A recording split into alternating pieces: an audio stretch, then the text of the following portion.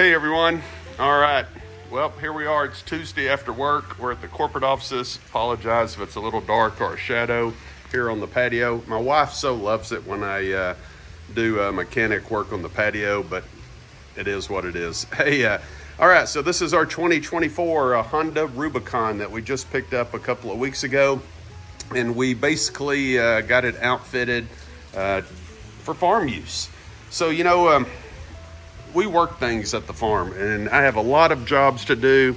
And uh, the primary use that we're gonna have for this Honda is basically, uh, there's multiple uses. Number one, we're gonna put a sprayer in the back. You can see I got my Yeti cooler sitting back there at the moment, but that will actually have like a 20 gallon sprayer back there. And what we do with that 20 gallon sprayer is we spray fence rows with Roundup to keep the weeds and cedar trees and things from growing up on our fences. Uh, just makes for maintenance free work. Uh, also, uh, we spot spray weeds in the pasture if we see some really nasty weeds coming up like bull nettles or uh, berry bushes or uh, things of that nature. We do a little spot spraying. Uh, we'll try to get those. so what did we do? So let me tell you, I've been working on this for about a week now, and man, there's a there's a lot that goes into this. So we'll start with the LED lights. First thing I did was I added a huge light bar to the front of this. Uh, really, really like the way this thing looks.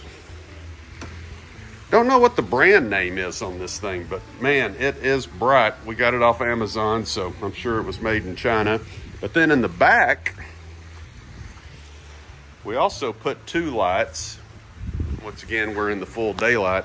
Put these back here. These are more or less work lights. In other words, they shine down on the ground but let me tell you, when it's nighttime and you're out in the middle of the country and it's dark, dark, dark, whether you're hunting, uh, checking on cows or whatever, you need light. And uh, especially if you're getting tools out of the back or something and you drop one on the ground, you want to be able to see it. So I like to have lights on my vehicles.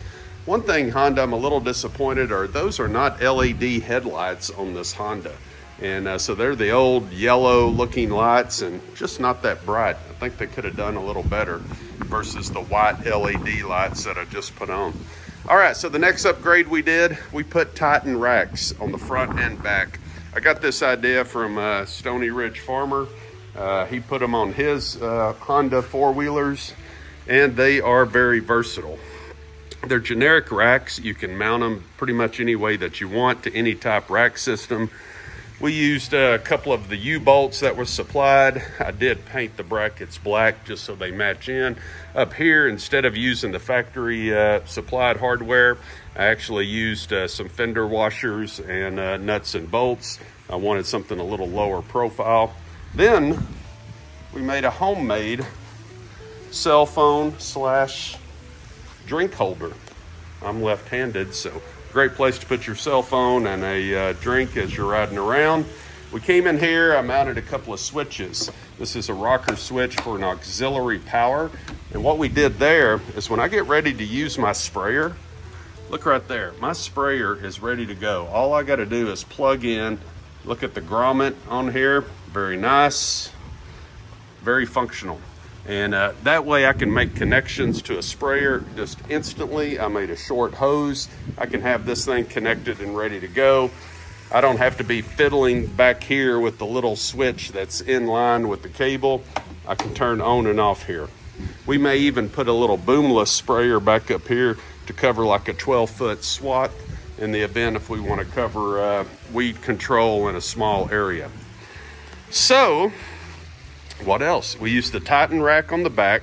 This Titan rack actually came out even further than this, but they had some points where you could cut it off. So I actually cut it off, spray painted the ends on it.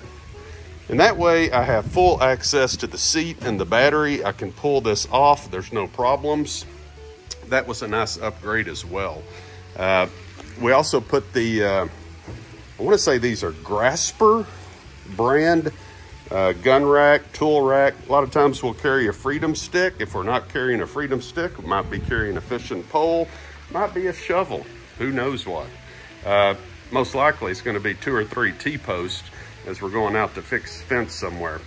One thing I like about this Rubicon is that uh, it gives us the ability to have very little impact on the pasture. And what I mean by that is when it's wet, the tractor leaves ruts, it tears the ground up. The tractor is heavy, heavy, heavy with the big lug tires. Uh, pickup trucks are heavy, they leave ruts. Uh, mine, especially being a three quarter ton diesel, that bad boy is heavy and it'll get stuck just about anywhere.